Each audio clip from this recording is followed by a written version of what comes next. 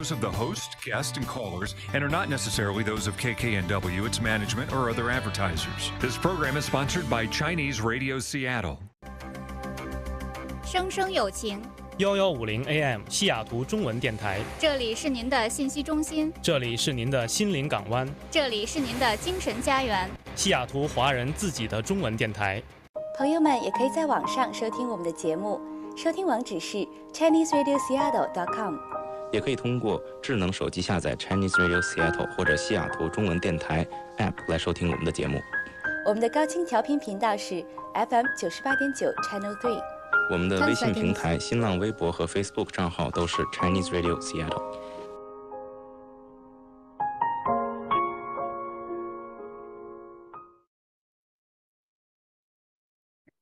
亲爱的听众朋友们，下午好！您正在收听的是西雅图中文电台 Chinese Radio Seattle 本周热点新闻节目。今天是二零二三年十月二十日，星期五，农历九月初五。我是主持人 Esther。大家好，我是主持人 Udi。下面为大家播报第一则新闻：南西雅图的现任市议员正在捍卫自己的席位。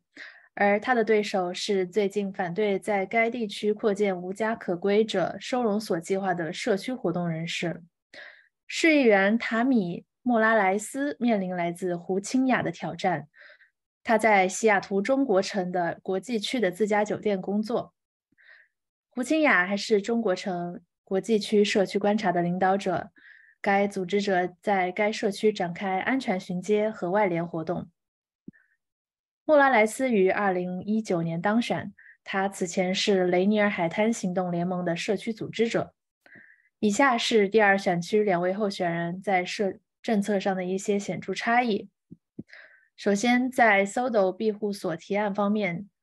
去年胡清雅带头抗议县政府的一项提案，该提案将大幅扩建 Sodo，靠近唐人街国际区现有的一个无家可归者收容所。他认为该社区最近承受了太多建设项目的影响，而且没有就该地区就该计划进行充分的咨询。该项目后来被搁置。莫拉莱斯最近告诉 KUOW 记者，他同意有必要开展更多的社区外联活动，但他对于取消该项目的决定感到矛盾，因为金县还需要数千个避难床位。再来看税收和预算方面，西雅图预计2023年一般资金赤字约为2.5亿美元。在接受 Axios 记者采访时，胡清雅表示，在考虑新的税收措施之前，有必要分析西雅图市当前的支出。他说，他暂时需暂时不确定哪些项目可能需要削减。莫拉莱斯告诉 Axios 记者说。该市需要新的税收来帮助解决无家可归者和缺乏经济适用房等问题。莫拉莱斯说：“我愿意要求我们的公司和大企业支付他们的份额。”营地搬迁，莫拉莱斯告诉 Axio 的记者，他反对拆强拆无家可归者营地。他说：“现在没有足够的地方让人们去。”与此同时，Tanya 吴胡清雅。上周，在一个关于无家可归者问题的论坛上表示，他认为在某些方面情况下应该清理无家可归者的营地。普钦雅说：“让人们死在外面的大街道是大街上是不人道的。”警务经费，莫拉莱斯告诉 Axio 记者说，在理想的情况下，他更希望看到警方减少预算。并将部分资金转用于其他应对项目，如社区工作者团队或心理健康专家团队。但他补充说道：“如果他再次当选，他不打算把重点放在削减警察预算上。他认为这个想法在在政治上站不住脚。”胡清雅说：“他希望增加警察警察局的预算，并雇佣更多的警官。”在毒品检控方面。莫拉莱斯最近投票反对一项允许西雅图市检察官起诉低级毒毒品犯罪的新法律。莫拉莱斯说，新法律在扩大治疗和其他服务以帮助药物使用障碍患者方面做得不够。胡庆雅说他对该法令投赞成票。那么选票呢将于周三寄出。那么我们也非常期待这个选举的结果。那么 Udi，你对于这样一则新闻有什么想法呢？嗯，就其实就我看下来，他们这些在政治上的不同面，呃，我比较有可能有想法的，会是在警务经费这个部分吧。因为其实就这几个礼拜，甚至上呃前两周，或者是上周，甚至这这周，其实多多少少都有看到，在这个西雅图城市这边有很多的可能警方需要需要警方人力的地方，不管是犯罪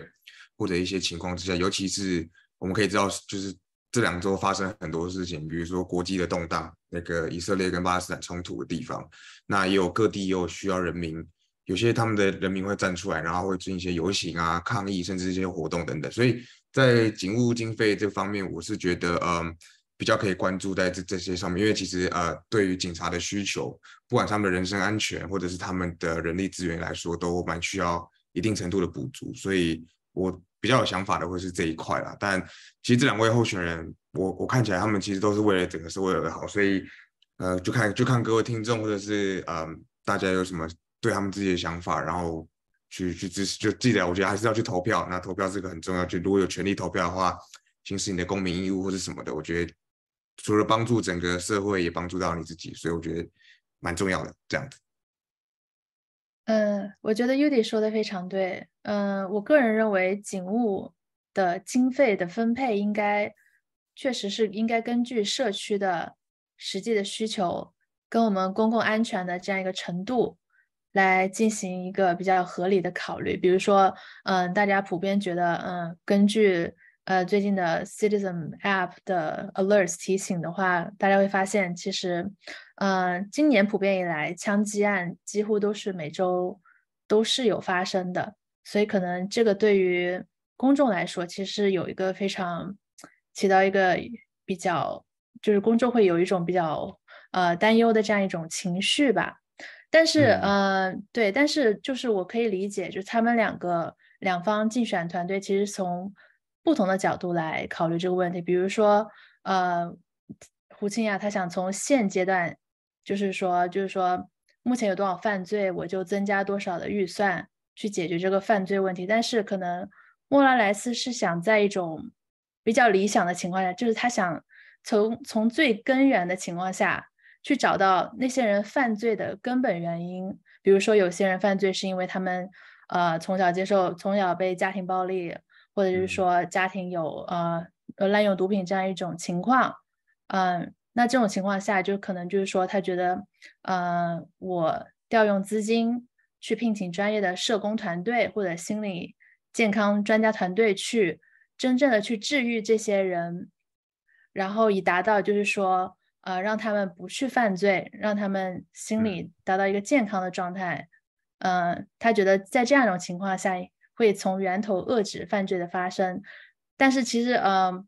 呃，想法是非常好的。我们都知道，嗯，谁不想就是说所有人心里都很健康，然后，嗯，这个世界呃一片太平，是不是？没有犯罪，没有罪，没有嗯罪恶产生。那就其实，嗯，他这个政策的话是需要一定的时间的，真正真正实施实施到位的话。对，所以所以他自己也提到说，他认为这个想法可能对他的呃政治选情上面并站不住脚，可以理解他有这样子的。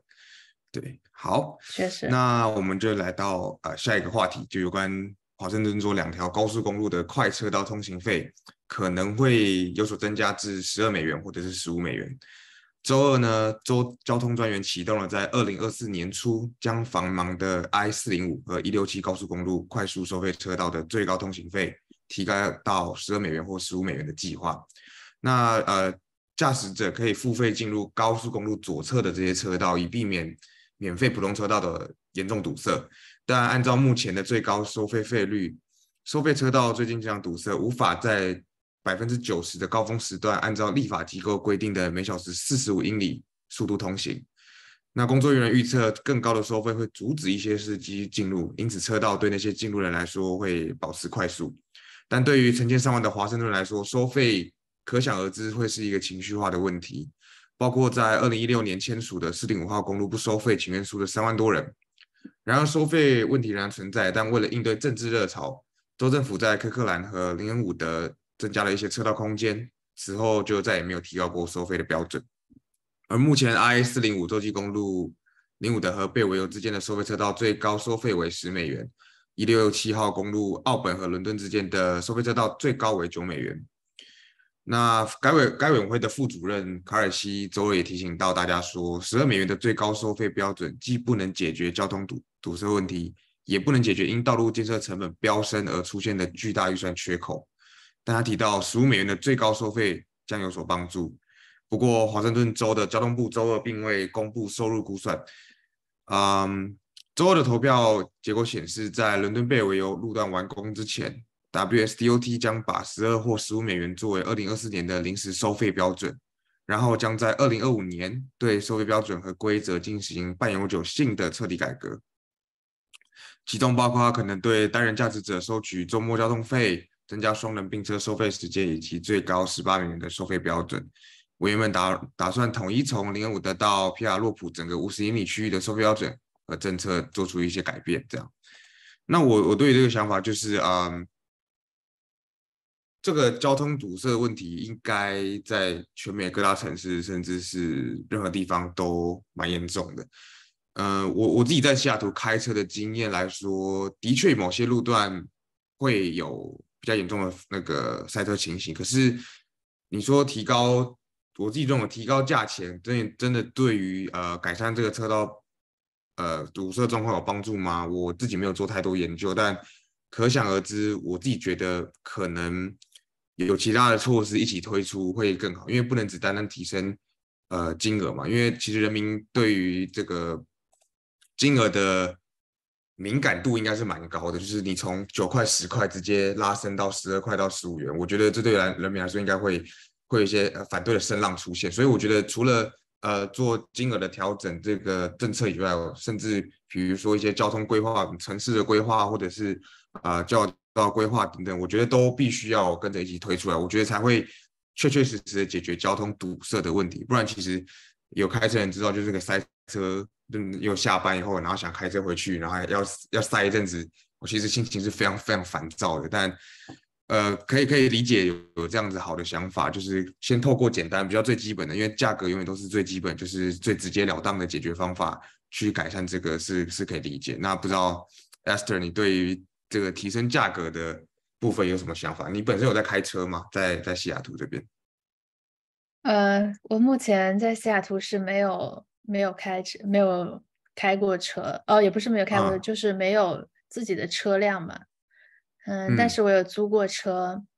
嗯，不过我个人对于呃，可能我不是，嗯，我还没有车，我自己本身还没有车，所以我对于通行费这种东西还没有太大的概念。但是我。呃，可以想象，就是说，这其实是一个蛮大的，呃，上升了，蛮大的一个一个涨价的措施。我觉得，呃，配合起就是今年年初的，呃，今年年中的一个油价的上涨，我觉得其实这对于很大部分人来说是一个非常，怎么说呢，很无奈的举措吧。因为其实他们并不会因为呃上涨这么几块钱就减少自己的。出行可能说对，可能比如说有些人在 Bellevue 或者是在呃湖对面上班，那他们每天必须要走那条每走那个快速路，嗯，那其实我觉得对这部分人来说就是一个怎么说呢，就是对他们来说有点不太公平吧，嗯，但是呢，就是我觉得可能现在政府需要想到更好的一些措施，比如说，呃呃。合理规划就是建设其他的路线，嗯，之前我是知道，就是说好像西雅图这边的呃跨湖的那个桥好像只有四座，是吗？从呃东边到西边，东边到西边，对对对，好像是，总之不多。对，所以我觉得这其实他们的这个道路的这样一个路线的规划。嗯，不方便，这是导致交通堵塞的一个重要的原因之一。那我觉得他们，嗯，怎么说呢？现呃涨价，其实这只是一个非常只能说是一个治标不治本的这样一个对对这样一个这样一个措施，因为嗯，随着人口的西雅图是一个人口逐渐膨胀的城市，随着开车的人也会越来越多，那么嗯之后。不管上升到多少钱，可能可能开车的人还是要每天呃持续进入快速路，然后交通问题可能一点都没有改变。那么就是人们人们还随之付出了更多的成本，所以我觉得这并不是一个特别好的解决方法。是因为像像我朋友住在 Bellevue，然后他如果要来到西雅图这边，他其实嗯，尤其是在下班时间，他很不愿意过来一趟，因为他就觉得。塞车太严重，很很不舒服，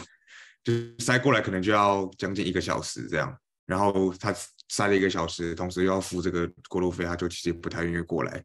但可以理解。然后我其实最近有听朋友说，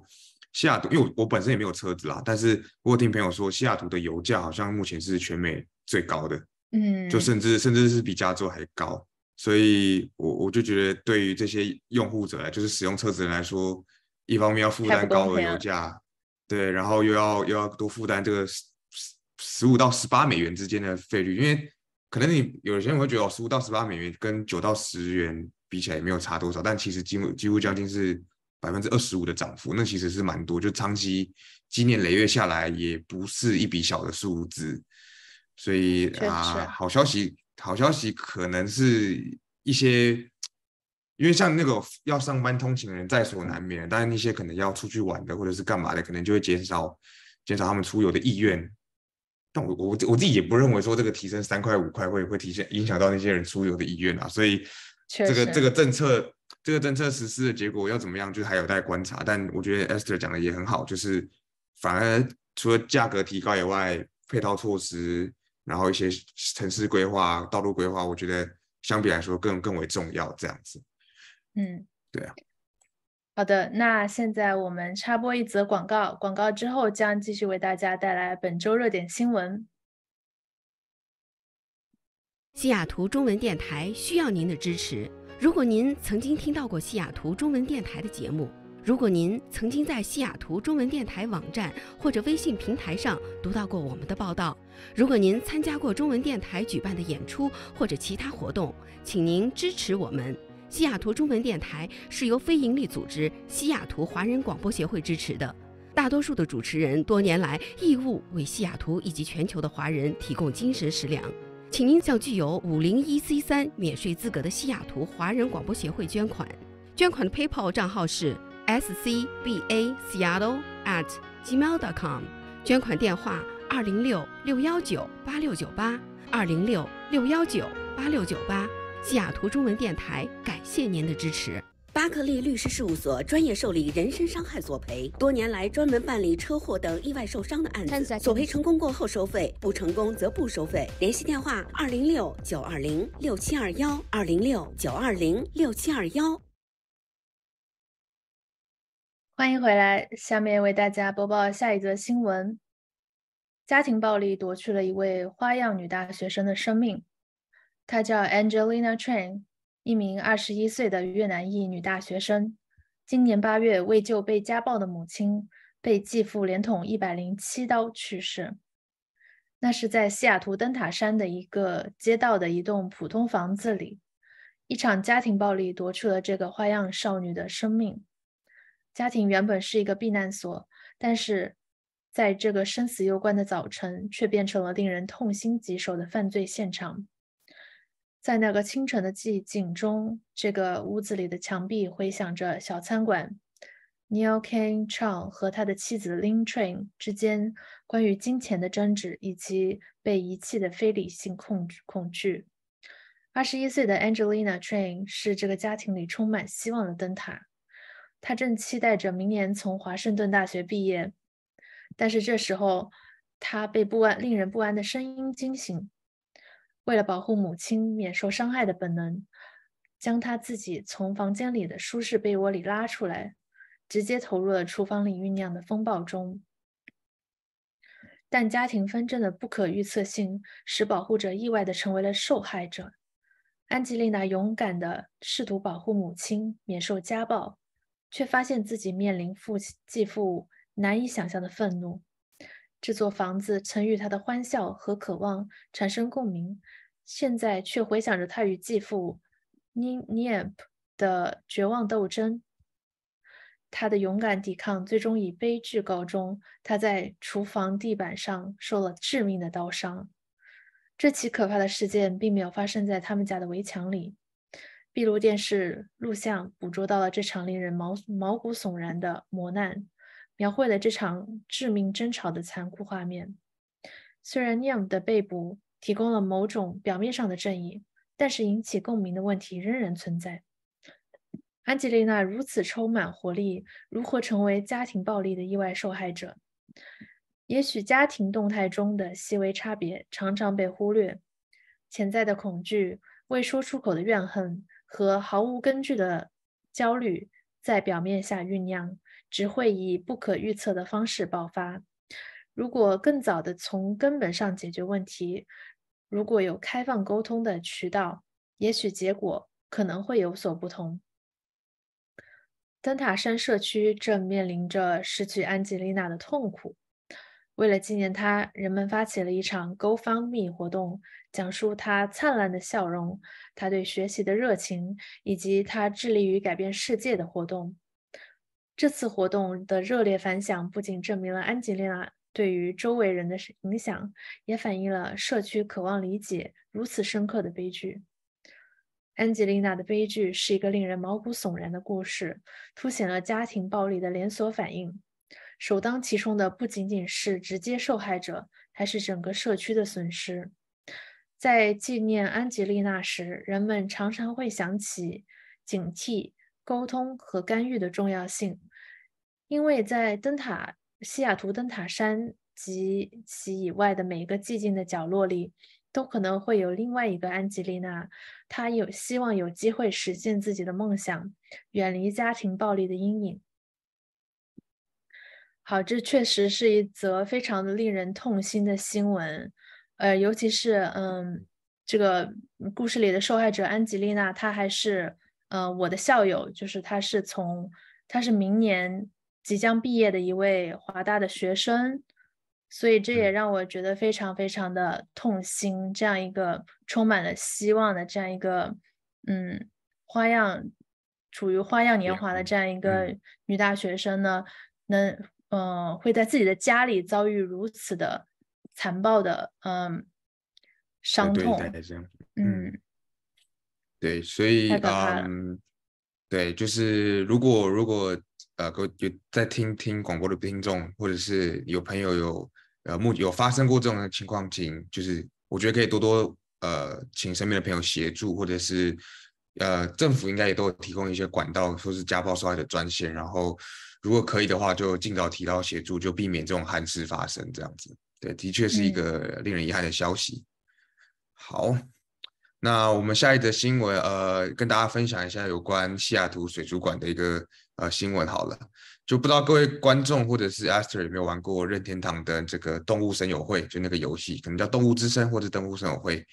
那如果你曾经想让动物森友会的长期博物馆馆长，也就是那个猫头鹰那个布拉德斯，在现实中教你认识海洋生物的话，现在听众有机会了，因为任天堂和西雅图水族馆在上个月宣布了一项活动，将带来一些动物之声新地平线的角色，帮助展示太平洋北部的海洋生物。那新太平呃新地平线中的角色也会被啊从游戏中拉到了西雅图水族馆，那帮助大家了了解西西北太平洋地区的海洋生物。这样，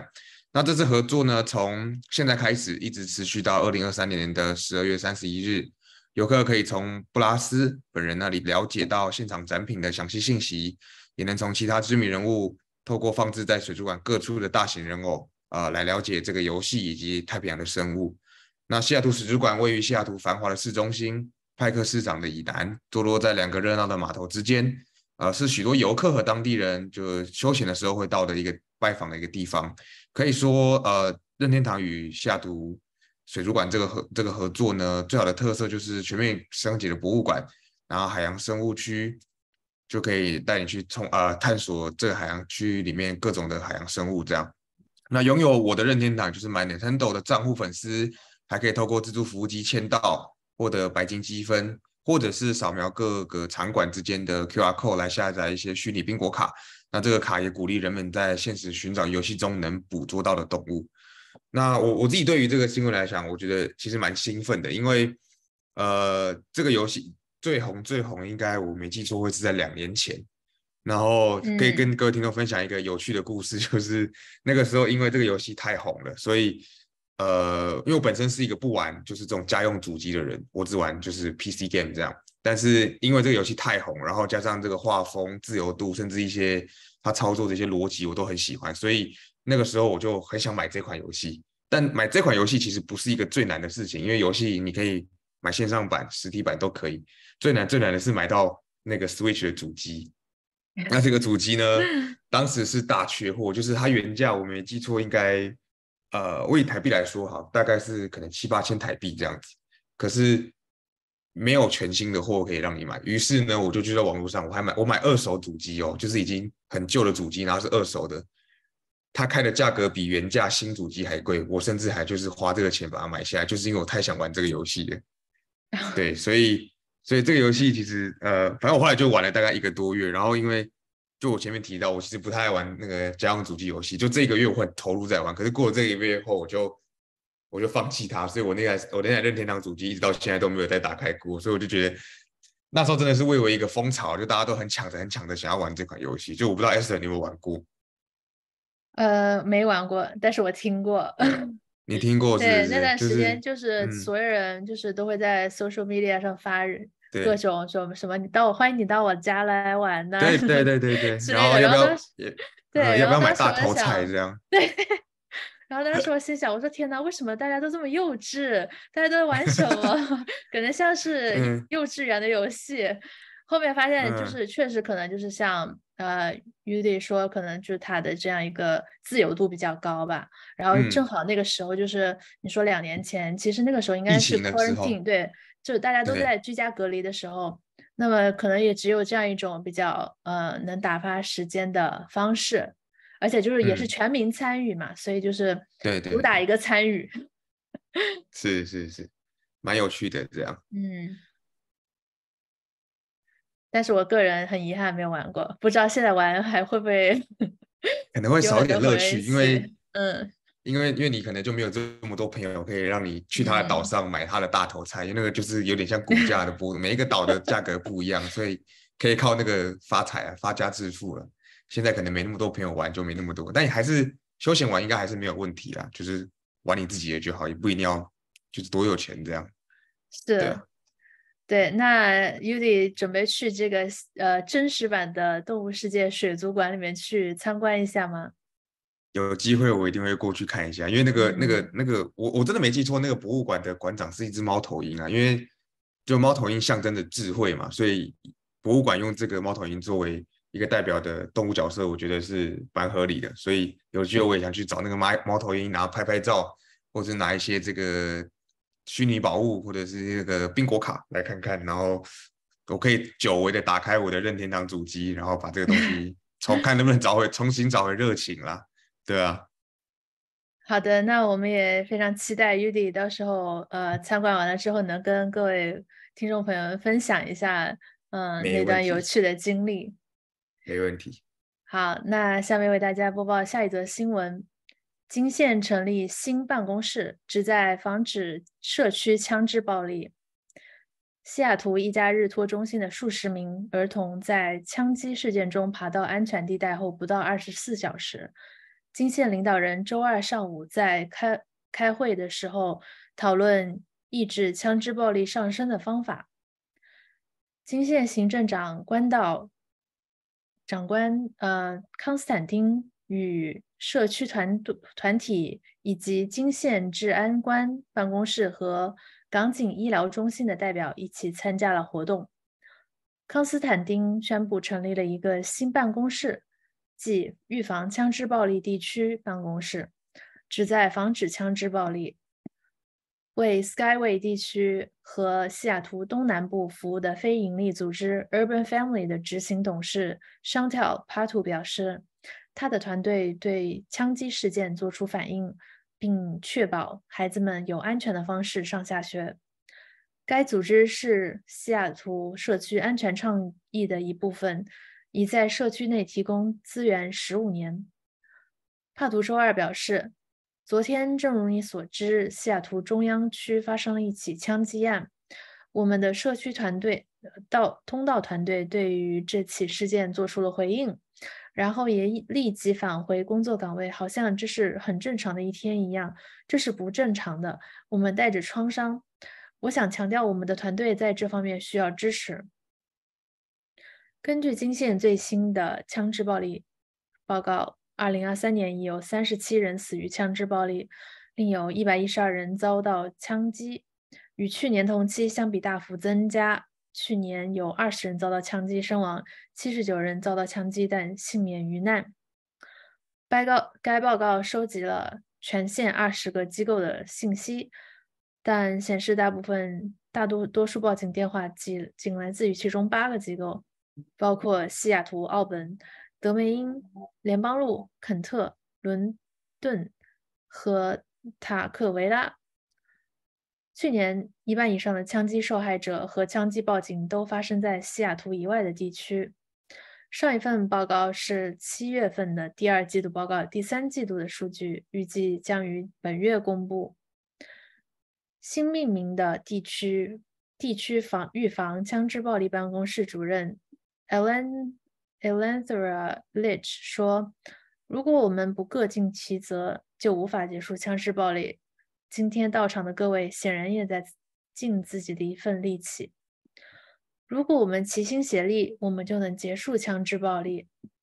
本周一，一名四十七岁的男子在二十三街和杰克逊街附近遭到枪击。数十名儿童在中央区的一家日托中心 A4 Apple Learning Center 逃生。该男子被送往医院，枪势严重，没有儿童受伤。子弹射穿了学习中心的窗户。孩子们已经在那边练习过紧急情况，如枪击时的应对措施。我再也不想经历这样的事情了。共同，共同所有人。阿阿波洛尼亚，华盛顿说。我们能派巡逻队吗？能派警察走过吗？好的，这则新闻呢，其实嗯，让人又喜又忧啊。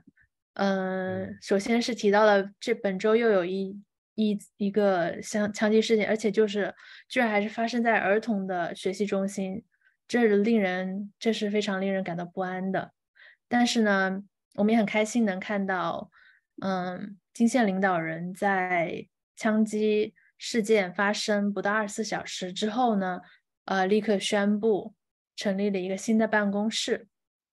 呃，虽然就是还没有，嗯，还没有提到说新的办公室会，呃，真正采取怎样的有效的措施去遏制枪支暴力，但是就是，嗯，至少我们能看到有这样一个 office 的存在了。那么我们也期待他们。他们未来的一些表现吧。那么，Udi，你对于呃这个新闻有什么看法呢？呃，确实，我觉得枪支问题可能在美国任何地方应该短时间内都得不到太大的改善嘛。因为其实呃，尤其是在校园发生的枪击案，我觉得是可能人们普遍最不愿意见到。因为校园枪如果校园发生枪击，那代表这些幼小的。儿童就是这些还在茁壮的孩子们，就是提前被制止、遏制了生命，那其实非常非常可惜，就对他们来讲，或是对整个社会来说都是这样。然后我们也看到有很多的名人或者是一些啊，像是我我印象很深刻的是，呃，加州金州勇士队的教练 Steve Kerr，他在我记得好像是去年吧，有一场德州的校园枪击案发生后，因为那个对于我觉得对于有些美国人民来说已经疲乏，就是。每一周，每一周都不断的、不断的在发生有听到校园枪击案的状况这样。那那个总就金州勇士队的总教练，其实在赛后，因为 NBA 球队结束比赛后都会有个赛后受访，有记者就提问到了这个问题，然后他其实当下就也讲不出话，因为他非常非常难过。所以我觉得很多人都在为了就是枪支这件事情做了很多的努力跟一些推广吧，就是不要滥用枪支这件事情。那的确很开心看到呃。西雅图这边政府或是这个警察机构很快做出了反应，然后成立一个组织去应对这次的事情，所以呃，但我觉得最终最终还是希望啦，就是这个组织最好永远都不要出现。不是说因为它出现不好，而是说因为这个组织没有这个组织，代表没有这种枪击案发生嘛。所以很遗憾，很遗憾有这种事。对对对，问题消失就不需要再生出一个解决这个问题的组织去去应对它。所以，对啊，就是枪支问题可能在这边真的还是比较呃复杂，而且比较难以解决的问题这样子。对，对，枪支暴力案，呃，枪支暴力，呃，在美国确实是一个尤其严重的问题，所以可能就是我们在美国之外的其他地区很少会看到政府机构里面专门成立一个预防枪支。暴力的办公室，嗯，应该在美国以外的的地区，应该比较少有这种枪支暴力的问题了。因为不用说亚洲，亚洲基本上没有不太会发生枪支案的那个案件嘛。可是，嗯，呃，像西方社会，美国应该是很常见的。那欧洲欧洲社会，我不太知道各个国家或是欧盟有没有对枪支做出规定，但是，嗯，也比较少在欧洲那个听到这样子，所以。嗯，对，就是希望不要再有类似的事情发生，就太遗憾了啦。就是我觉得这种事情真的，就你可能第一次听到，第二次听到你会震惊，可是长久以来下来，你会因为听到这种事情感到疲乏。那人们会对政府失去信心的时候，就会呃越来越少人关注这件事情，或是怎么样，我不晓得。但是我觉得会有可能这样状况发生，所以祈祷不要再有类似的情况再度出现，这样。好的，那我们共同祈祷。好的，那现在我们插播一段广告，广告之后将继续为您带来本周热点新闻。无论是口感细腻的温和微辣，还是吃到泪流满面的特辣，爱吃辣的您不要错过 McDonald's Spicy Chicken McNugget 再次回归，混合陈年卡宴辣椒和红辣椒，Spicy Chicken McNugget 微妙而火力十足的辣度，定会让您越吃越过瘾。现在消费满五元可获八折优惠，仅限 APP，活动至二三年十二月三十一号结束，仅限参与活动的 McDonald's，每天可有效一次，不含税，必须加入酬宾计划。吧嗒吧吧吧。我要告诉大家有关 COVID-19 的重要消息，这可能对你我都有影响。你也许听过 COVID-19 的紧急状态在五月十一日结束，但请别担心，所有人仍可免费获得联邦提供的疫苗。保险公司只会支付居家检测试剂盒的费用，直到五月十一日为止。因此，请向你的保险公司查询是否之后仍继续承保。请致电幺八零零五二五零幺二七，并按井字键了解详情。本广告与华盛顿州卫生部合作。嗯，好，各位听众，欢迎回到我们的节目。那，来到下一则新闻。这西雅图市中心集会吸引了大量亲巴勒斯坦的抗议者。周六下午，以色列与哈马斯战争带来的痛苦和紧张局势，成为西雅图市中心的焦点。几个活动团体在西武公园领导了全力支持巴勒斯坦集会，并在街道上游行，有时占据了两三个街区。那这次集会是在圣地战争进入第八天之后举行的。以色列军队轰炸加沙领土，以报复哈马斯十月七日的致命袭击，并命令大量平民在预期的集会之前撤离加沙部分地区。地面进攻战争已经夺去了至少三千五百人的生命，其中包括了许多的平民。西雅图西湖公园集会开始时，人们举着巴勒斯坦国旗和标语牌，上面写着。当人民被占领时，抵抗是正当的，和结束占领。扩音器里播放着音乐，公园附近部署了一些警察。在一个小时的时间里，人群明显增加到了一千多人。在一系列的演讲中，演讲者呼吁在西雅图举行和平抗议，同时还表示巴勒斯坦人有权在以色列争取自由。那乔拜登总统，包括杰因斯利州长在内的地方领导人都表示支持以色列。一些犹太组织本周在西雅图地区进行了进举行了首页活动，包括西雅图在内的美国多个城市的执法部门表示，他们已加强了对犹太礼拜场所周围的巡逻。尽管发生在距离美国数千英里之外，但呃，以巴的冲突其背后长期存在的不满情绪，其实已经渐渐的扰乱了包括西雅图在内的美国社区。上周日有数百人聚集在科克兰。一群群的示威者在街道两侧挥舞着巴勒斯坦和以色列的旗帜，有一些人发生了短暂的混战。那警察一度还向人民释放了胡椒球的生物刺激剂。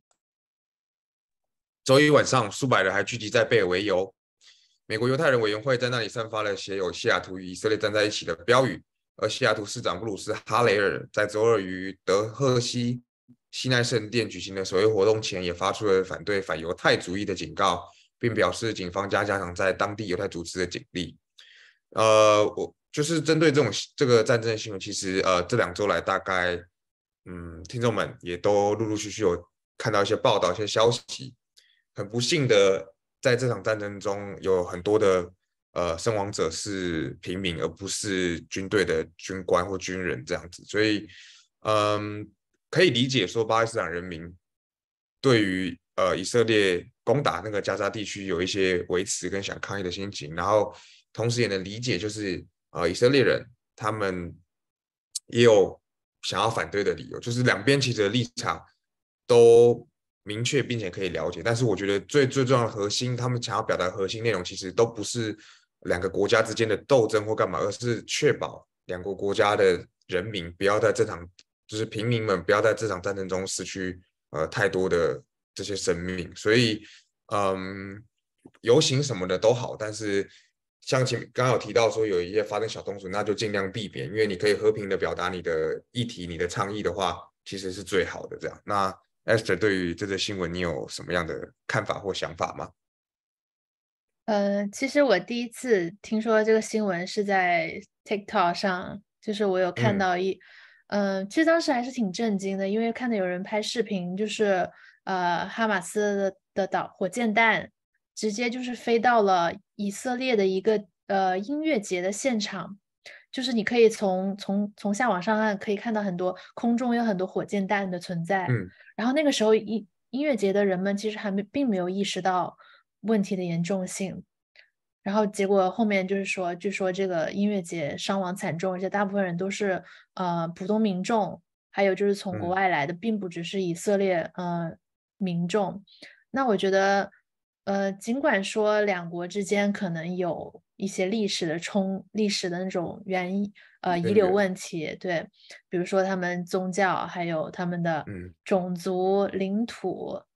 这方面都有很多很多就是矛盾，但是这也不是说哈马斯针对于无辜的民众进行一个无差别的这样一个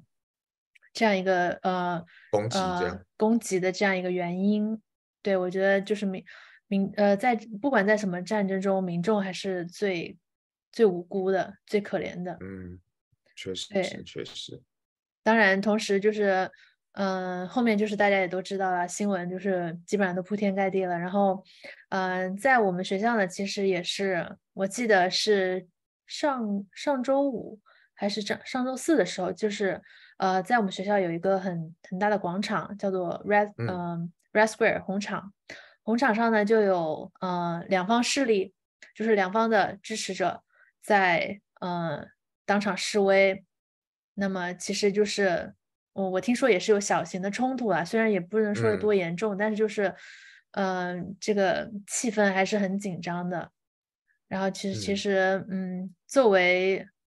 嗯怎么说呢？作为一个嗯围观群众，就是因为我们也不是说。呃，这两方的跟这两方更任何一方有有什么关联嘛？就是我们从一个旁观者来说的话，就还是希望希望战火能平息吧。就是说，希望他们能和平解决他们的问题，至少不要有更多的无辜无辜的民众要为这种事情付出他们的生命了。嗯，可以完全认同 Esther 讲的这些话，就是。和平诉诸你的诉诉求，不要影响到这些人民，他们是无辜的。对，确实。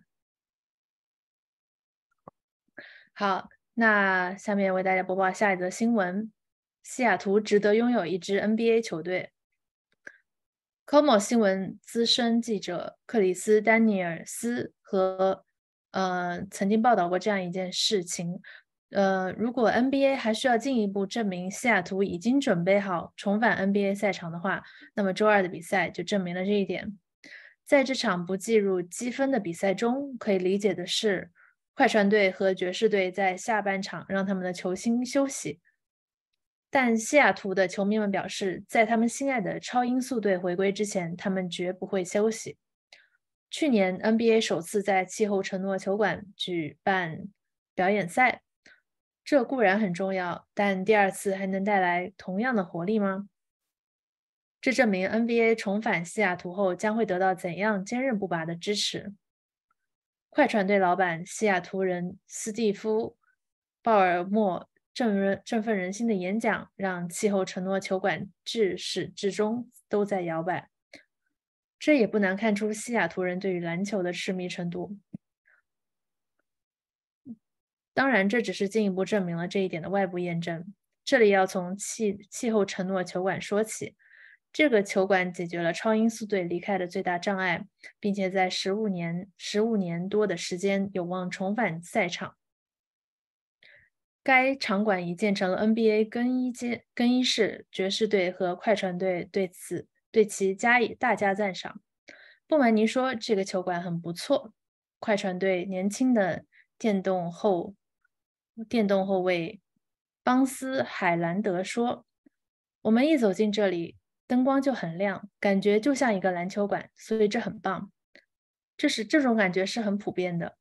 快船队首发大前锋罗伯特·考文顿说：“这是一个美丽的球馆，一个美丽的地方，比我们去过的一些真正的球馆都要好。”考文顿曾为曾在波特兰开拓者队效力，对于西北西北太平洋地区并不陌生，因此。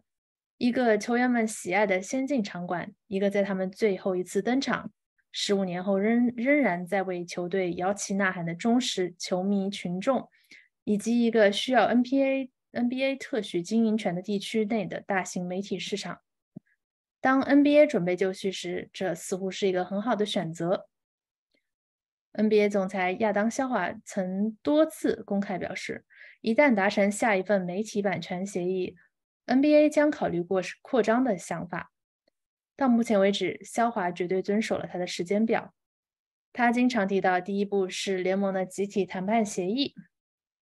今年早些时间，联盟已经完成了该协议，因此在西雅图球迷等待的同时，他们也可以通过继续表现出坚定不移的支持而得到安慰。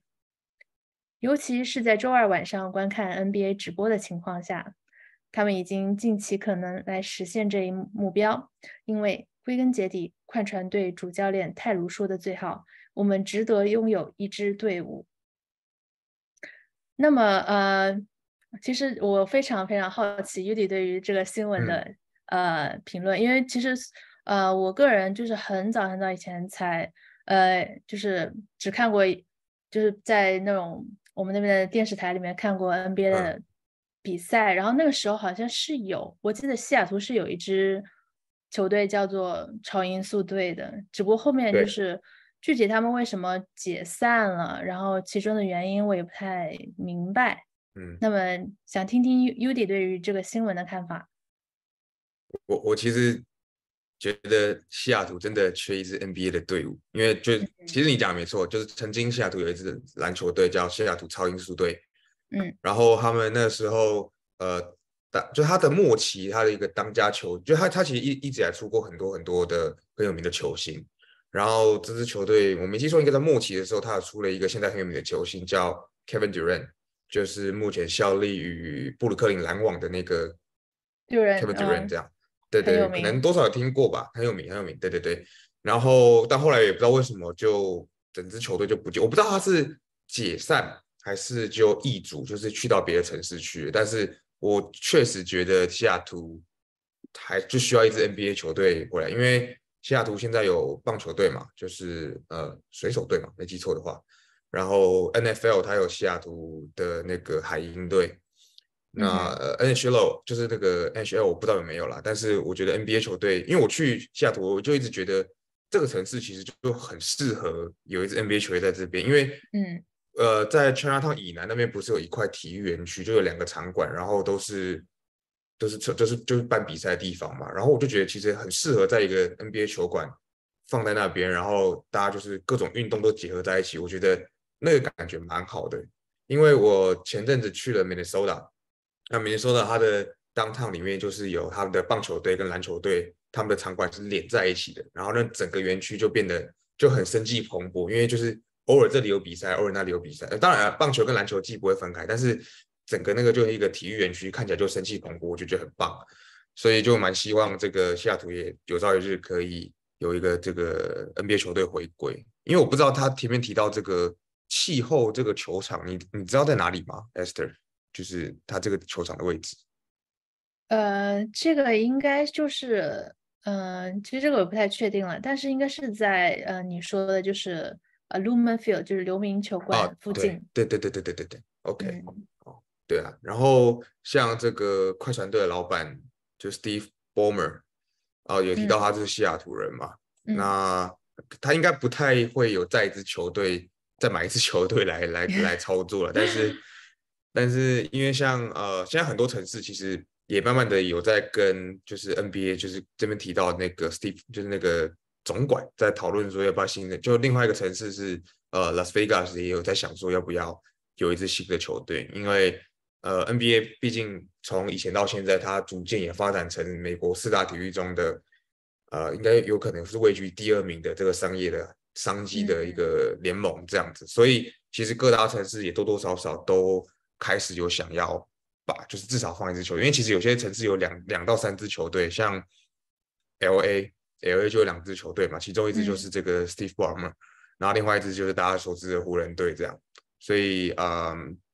就有一些城市或是有些州有很多的球队，但是华盛顿州西雅图就是缺少了那一支 NBA 球队回归，而且他们也有足够的历史底蕴或者是球迷，那。让这个联盟，就 NBA 联盟知道说，其实回来是有效的，因为他们曾经也有一支非常非常有历史并且有文化的球队存在，所以我觉得回归应该指日可期，可是指日可待啦，可以可以期待一下这样子。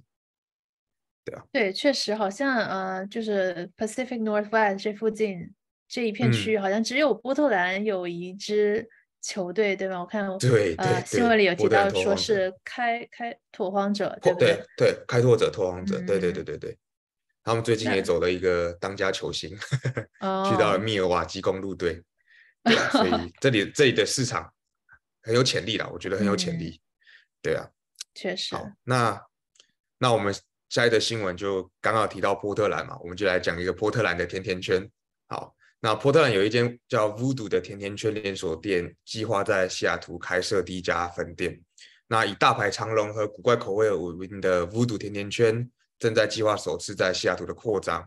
那本周三，这家总部位于波特兰的公司确认，计划会在啊西雅图国会山松树街和米诺尔大道交汇处的布克大厦至少租用一个两千六百平方公尺的场地作为开店选择。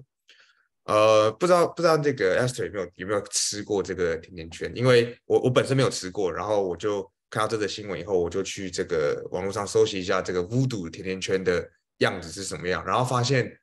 这家甜甜圈其实蛮酷的，它的整个